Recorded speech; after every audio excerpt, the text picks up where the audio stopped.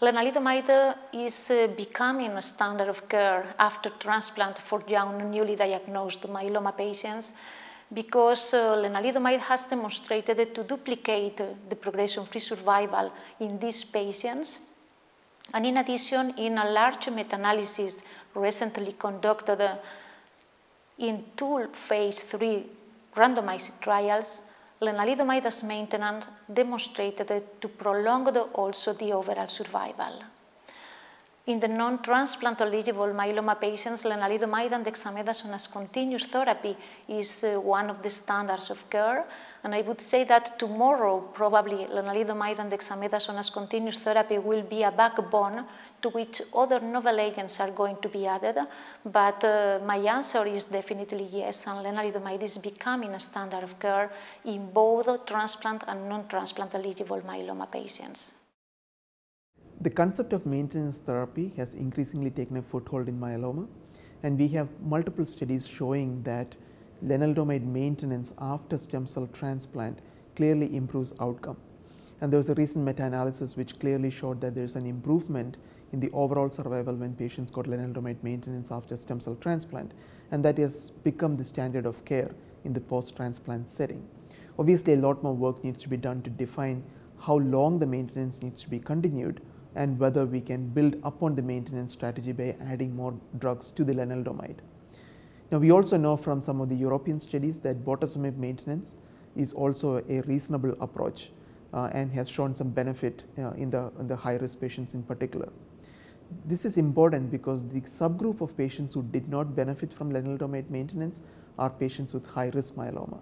So, clearly we need to do something different for patients with high risk myeloma and the answer might be a proteasome inhibitor based maintenance therapy in those patients. Now, in the non-transplant setting, it's a little bit more um, open question. Now, we know that from the first trial which used lenalidomide continuously till disease progression compared to 18 months of lenalidomide dexamethasone, there was an improvement in the progression free survival, but no distinct improvement in the overall survival um, when you compare the indefinite versus 18 months of lenalidomide. Now, there have been some uh, meta-analysis of European trials which suggested that a continuous therapy is better than a fixed duration therapy. However, I think in the non-transplant setting, we still need more information to say a continuous therapy is better than stop and go, um, uh, as you know, treat as the disease comes back versus just continue the treatment. Lenalidomide can be considered one of the standards of care to be used as maintenance in transplant eligible myeloma patients.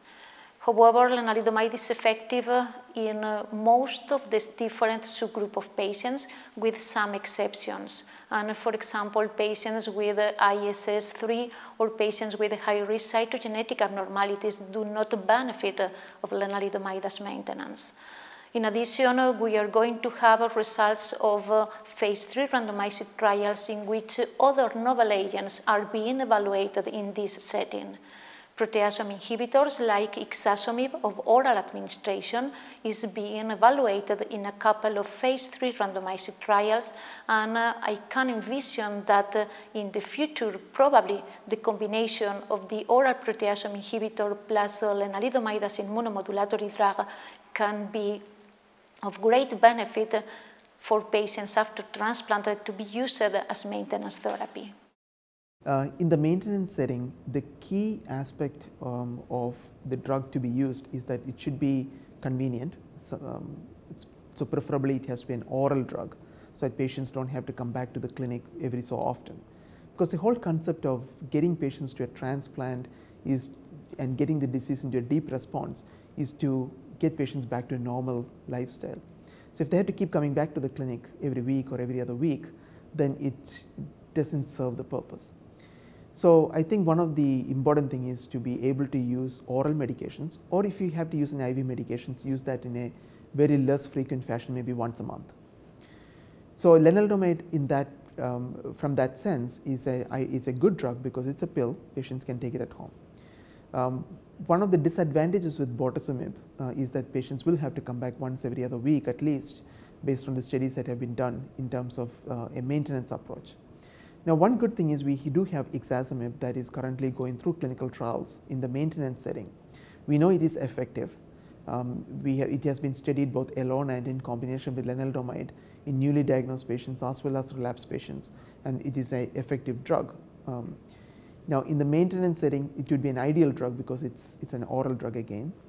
Um, we know from the newly diagnosed studies that it can be given continuously over a long period of time uh, without any cumulative toxicity. So that makes it again um, an, a drug that is amenable to maintenance uh, setting. Obviously, the, we need the data, and there's a phase three trial that has completed accrual, which hopefully will give us more information on that. The monoclonal antibodies certainly is another option, especially we know that the daratumumab can be given once a month uh, on a long-term basis with very little uh, cumulative toxicity. So that's another drug which potentially could have a role in the maintenance setting, and obviously we need data.